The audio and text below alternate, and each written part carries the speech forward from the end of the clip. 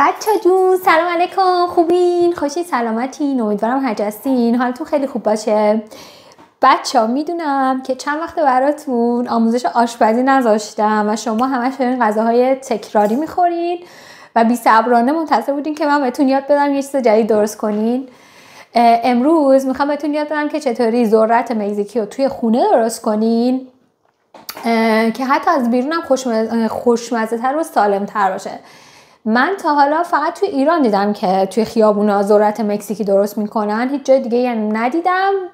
تا حالا مثلا این همه کشوری که رفتم اصلا نمی‌دونم تو خود مکزیک هم واقعا هست یا مثلا یه سری من در آوردیه ولی به هر حال اینی که من درست می‌کنم طعمش حتی از اون چیزایی که توی خیابونای تهرانم می‌خریم خوشمزه تره چون که سالم تره بخاطر اینکه من توش حالا بهتون میگم چرا. بهتون میگم چرا.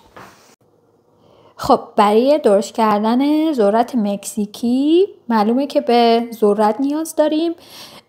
این ذرت پخته شده و کنسرو شده است. و حدود یعنی آبش اینا که گرفته بشه 285 گرم خود ذرت به قاش احتیاج داریم. به پنیری که پنیر گودا من خریدم. همون پنیری که برای لازانیا یا پیتزا اینا توی ایران هم استفاده می‌کنید. همون پنیر و کره. آویشن نمک و فلفل هم احتیاج داریم. نوبل. و یک عدد نوربرت نیاز داریم که کمک می‌کنه تو آشپزخونه. قربونید برم. یه مگس اومده تو آشپزخونهمون. بعد نوبت می‌خواد شکارش کنه دیگه اصلا ولش نمی‌کنه. بدبخت مگسه پر می‌زنه اینم میپر دنبالش. اولین کاری که باید بکنیم اینه که ذرتمون رو باز کنیم بریزیم توی سبد و بذاریم اون آبش بره. حالا اگه شما نمی‌خواین اون آبش رو بذارین بره می‌تونید با آبش هم حتی درست کنین مشکلی نیستش. آها این بگم. بچه توی ایران توش سس مایونز هم میریزن. که من اصلا دوست ندارم توش سس مایونز ریخته بشه. به نظرم سس مایونز که داغ بشه خیلی بدمزه است. واسه همینم گفتم که ذرت مکزیکی من سالم تر از ذرت مکزیکیه که توی خیابونه تهران می‌خوای. احساس می‌کنم هی هر دفعه بهش یه چیزی اضافه کردن. اصلا از اون طعم و مزه اولیش انداختن این ذرت مکزیکی بدبخت و اولش خیلی خوشمزه تر بود. حالا الان اون جوری که من می‌خوام درست کنم همون مدلیه که اولاش میخوردیم.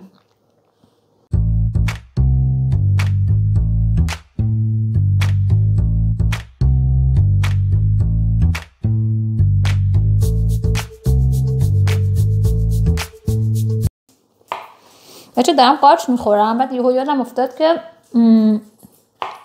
امروز اولین باریه که دارم از میکروفونم استفاده می‌کنم. یه میکروفون خریدم که کیفیت ویدیوهایی که مثلا توش حرف می‌زنیم بهتر باشه.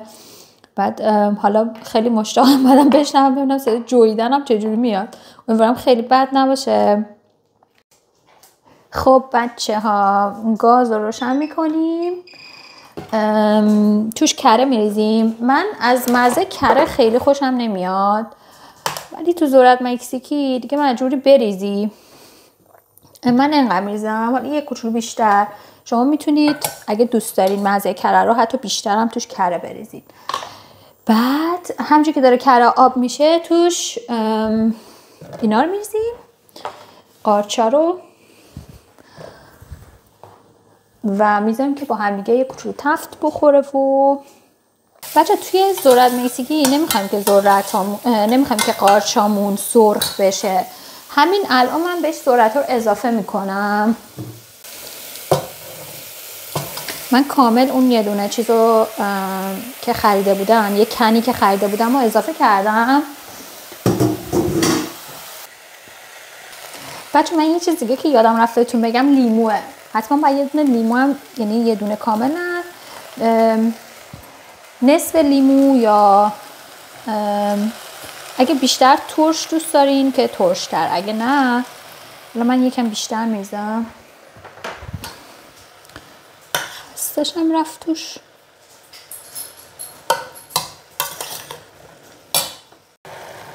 خب بچه الان یه چند دقیقه که این مواد همشون روی گاز دارن از خودشون سرخ نمیشن میپزن.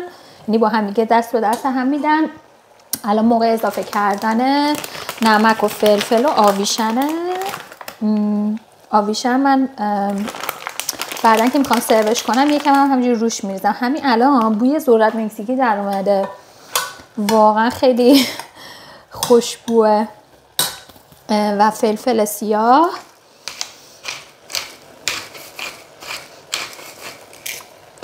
و نمک.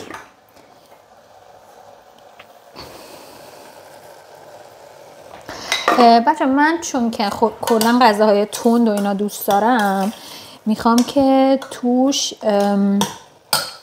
دو تا دونه چیلی الان بهتون نشون میدم. از این چیلی هایی که خشکه. می‌بینید حالا الان همشو نمیریزم چون اگه لارسن بخواد بخوره خیلی براش تند میشه ولی همین دو تاشو با دستم جوی خورد می‌کنم. فقط باید مواظب باشم دستو به چشمم هم نزنم. سه تاشو خورد کردم. بچه اگه بخواید می‌تونین توش یک کوچولو پودر سیرم بزنید. فکر کنم بال بشه. من مثلا دفعه قبل که درست کردم پودر سیر نزدم ولی الان یه ذره همین الان در کشوی ادویه باز کردم و پودر سیر رو دیدم گفتم میذار یه ذره پودر سیرم توش بزنم. خلاصه اینم از اینو یکم زیرش رو زیاد می‌کنم. و بعدشم پنیر رو بهش اضافه می‌کنم. باز من خیلی دوست ندارم بهش پنیر زیادی بزنم زیاد از حد بزنم. ولی اگه شما بیشتر دوست دارین خب بیشتر بزنین. دیگه پنیرم بهش زدین دیگه می‌تونین قشنگ چیزش کنین. می‌تونین دیگه خاموشش کنین. دیگه احتیاجی به حرارت نیست. با همون گرمایی که الان داره پنیر خودش آب میشه. پس من گازم خاموش می‌کنم. یه کم دیگه هم روش پنیر میریزم.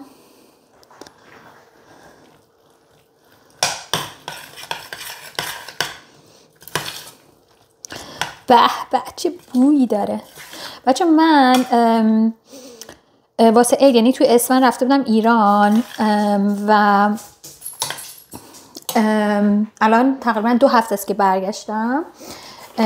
همش ایران که بودم دلم خواست برم یه جا پن... چیز بخورم همین میگم پنیر زورت مکزیکی بخورم ولی اصلا وقت نشد. یعنی هر دفعه که خواستم بخورم قبلش انقدر چیزی خورده بودم که پر پر بودم.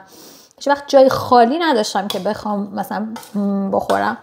برای همین وقتی که الان اومدم آب دهنم را افتاد. خیلی حوث زورت مکسی کردم. دیگه خودم دست به کار شدم. مثل همیشه چند تا ویدیو توی یوتیوب دیدم اولو. بعدش هم ترکیب خودم رو زدم. این آماده شد دیگه میره بر صرف. خب بچه ها من میرم که دوست خوبمون رو امتحان کنم. جای همتون خالی. اگر که ویدیوهای من نگاه می‌کنین و هنوز کانال من رو subscribe نکردین لطفا با subscribe کردن از من حمایت کنین. و ویدیوهای من رو like کنین برام کامنت بنویسین. اگر ایده و نظری دارین خوشحال میشم بشنوم. جای همتون خالی. برای اون دوستام که نزدیکمون هستن و هر از چندگاهی پیشون میان حتما درست می‌کنم. فوشم ندین آقا. خیلی خوبه. از مال خیابون بهتره.